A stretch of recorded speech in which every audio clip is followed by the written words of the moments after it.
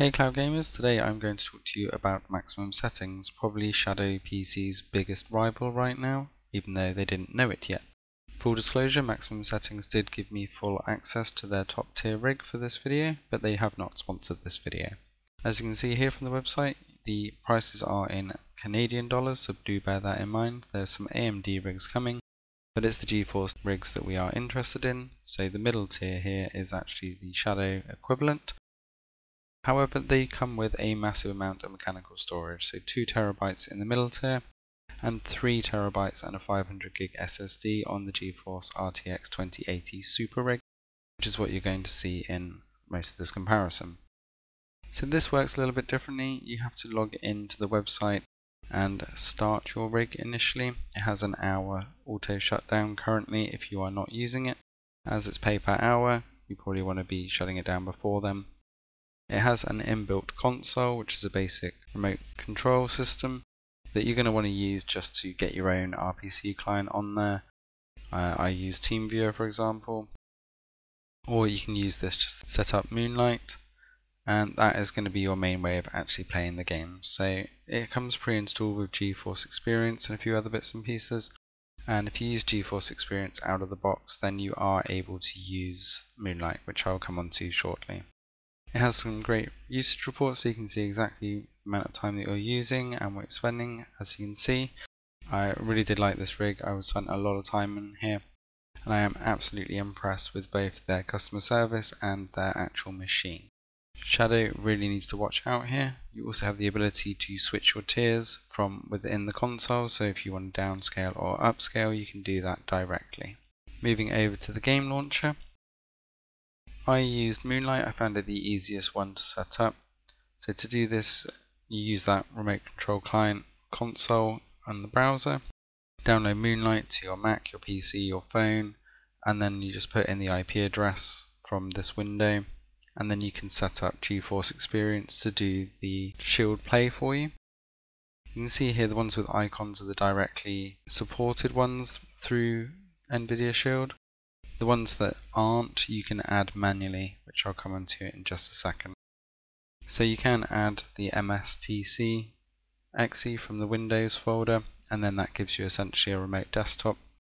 So you can do it all through the same place. The one caveat is, for some reason, Moonlight does not support the Windows key, so if you're trying to do commands with that contain Windows key, then you need to use a different remote desktop client, hence why I use one of the others. So as I said, you can install the games and it will get recognized by GeForce Experience but for the games that you don't see in the launcher if you want to do them directly you can go to the shield section here and just add the exes so I added the game launchers for each one so I could bypass the remote desktop section and it just automatically launched the launcher for me. So once I opened the remote desktop it gave me the launcher and I could just pick the game that I wanted to launch which you'll see here I'm adding the Uplay launcher and then I can just launch one of the games. It does come with a massive amount of storage. You've got that. You've got the game cache SSD, which is 512 on this rig, and then a 3 terabyte mechanical game cache. And it really does make a huge difference. As you can see, I've got 8 games installed here and it's not sweating at all. This means that you can really pick up any game that you want on the fly. And this Moonlight service does work extremely well as well. As you can see from this config section, you really do have a lot of control over all of the settings. For the stream settings, you can set high resolution. You can see I'm running at 1440p. And you can really up the frames per second as well. From the client, you can change all of these settings. You have VSync enabled. You can choose the codecs. And because I was on Mac, the HEVC codec was running fantastically. You can choose the 1440 for the native and then just launch back in and those settings are picked up instantly. You do have finite control over the bitrate as well and I think the bitrate goes up to 120 megabits per second so you can choose to stream that 4K image in all of its glory if you have the bandwidth to do so. Otherwise you can downscale it and it works beautifully. I must admit after using Shadow Boost for some time, maximum settings is a go-to for me. My only downside is that because it's in Canada, I have 110 millisecond ping, which doesn't actually show too badly in a lot of the AAA games, but is highly noticeable on the desktop and in some of the first person shooters you do notice that little bit of delay but definitely not 110 milliseconds worth probably feels like that 50-60 millisecond latency Shadow really needs to watch out here and hopefully they'll get their rigs sorted soon but if you are on the east coast US or in Canada you are going to have a low ping and this service is going to be phenomenal for you as I said for the equivalent price of the top end rig, so Shadow was around $50 a month. That would get you around 80 hours of this rig, which unless you are gaming for 5-10 hours a day, you are not going to hit that 80 hours a month. So it is well worth it. I'm going to move on to some gameplay demos now so you can see just how good the rig plays. Final Fantasy XV Windows Edition is one of those games that makes most graphics cards cry just by mentioning its name.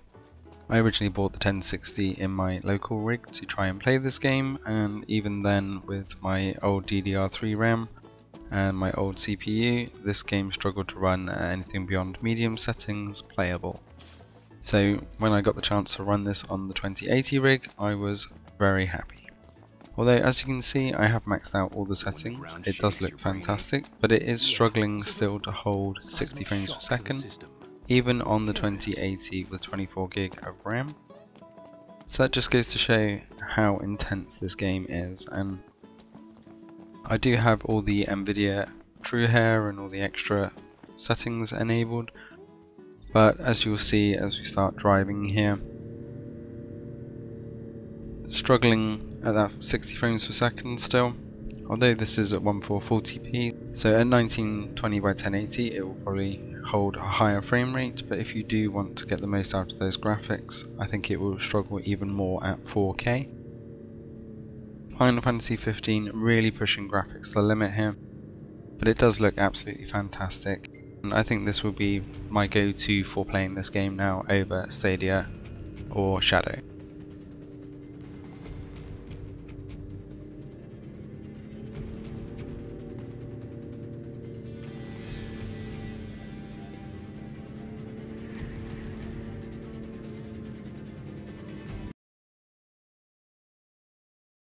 Moving over to Hyperscape. Again, this is running at the max ultra settings with everything pushed to the limit on 1440p. And you can see here that it's holding over 80 frames per second, 90 frames per second there as we're dropping into a Moleculum. To be honest, this plays absolutely fantastic on most rigs, but at 1440p and ultra settings, it does look absolutely fantastic on the 2080 rig from maximum settings and it was an absolute joy to play. If it wasn't for the high ping for me because of the Canadian rig, uh, I rechecked recently and I'm getting around the 95 to 100 ping. It is noticeable a little bit on the Twitch movements, but if I could have that lower ping I would be on this all of the time. So enjoy a bit of gameplay here and my poor shooting. Isn't it safe to be empty-handed?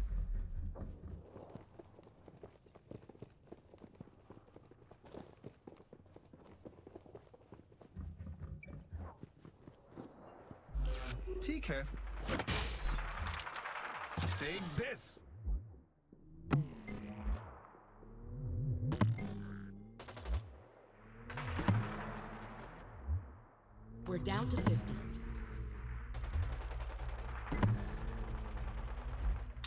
Are about to collapse.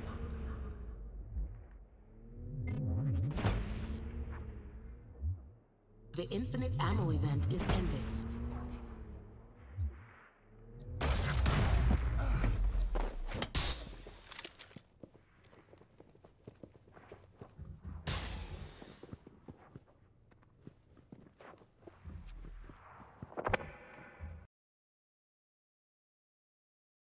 Moving over to some control gameplay. Here we've got everything maxed out with DLSS and ray tracing at max. You can see the 2080 is struggling a little bit to keep the 60 frames per second when we start hitting some enemies. But overall it does look and play fantastic. I don't remember the GeForce now dropping that low on the frame rates on the 2080 rig. So I may need to go back and run a comparison side by side here. As you can see we're dropping it into the 50s during these gunfights. Again a 1440p I'd have to drop the resolution down to 1920 by 1080 to compare with GeForce now, and then the frame rates will most likely be a bit higher. So enjoy a bit of 1440p high quality gameplay here from Control, and then we'll move on to the next game.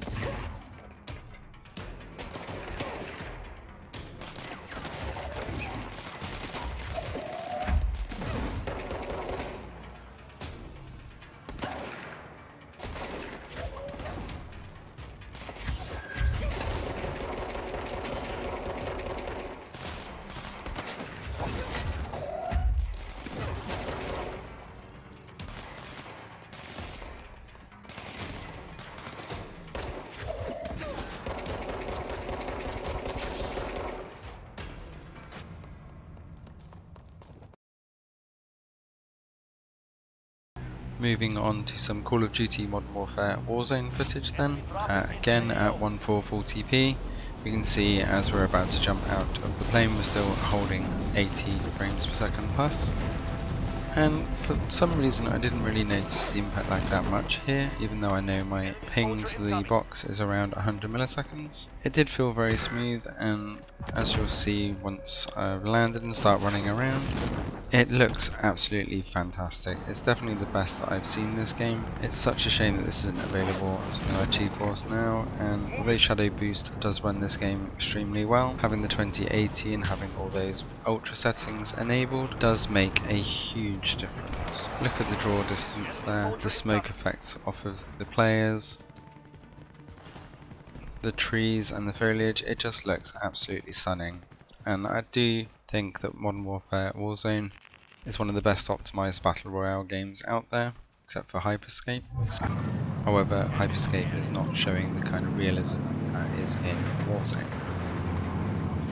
Enjoy some of the gameplay footage here running around. I could have spent hours on this, and I have spent hours on this on the 2080 rig. Occasionally you do see that input lag, but again, if you are on the East Coast US or in Canada, you are going to have such a low ping on this rig that it will be noticeable and it'll be just like playing a local rig. I can't wait for these guys to come to Europe. Enjoy and then we're going to move on to some mobile gameplay.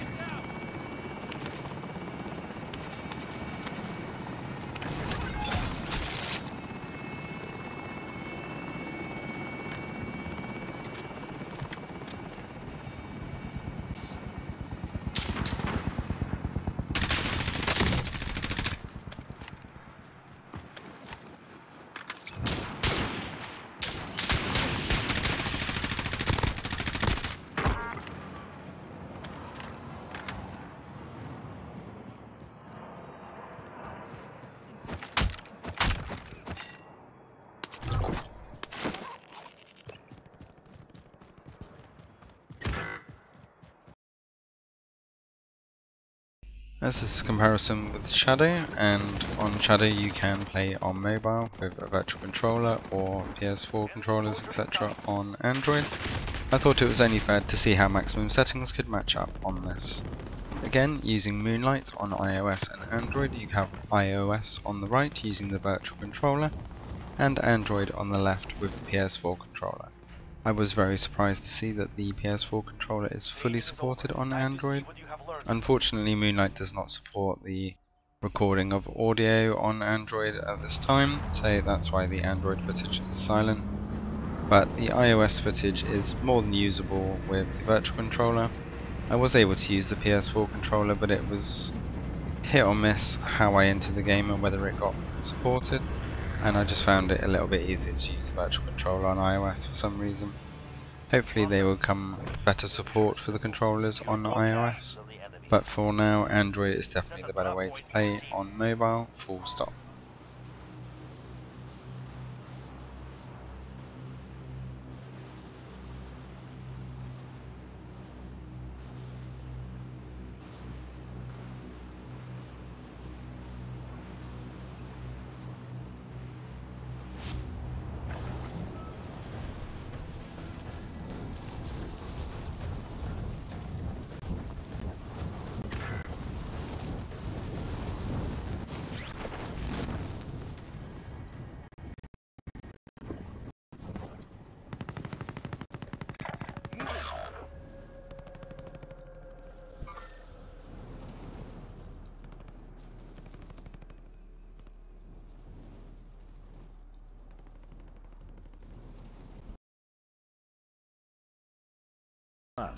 Rounding off the mobile footage then, here is Final Fantasy XV, the Windows edition with all those ultra settings being streamed directly to iOS.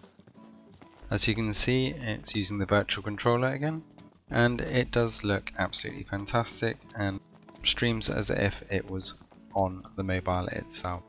I'm thoroughly impressed with the Moonlight engine as well as the power of the 2080 rig, and I highly recommend maximum settings going forwards you are most likely going to see a lot more of the 2080 rig in comparisons moving forwards.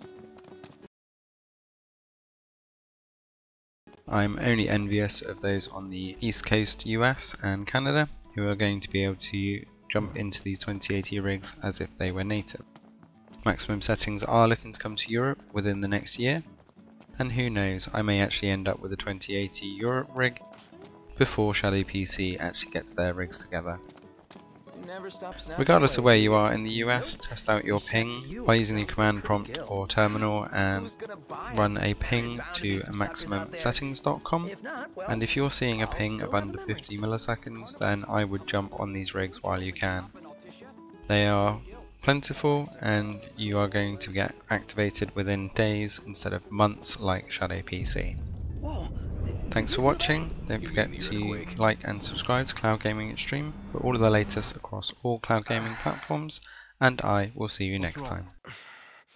My head just started throbbing. You alright? Yeah, I'm fine.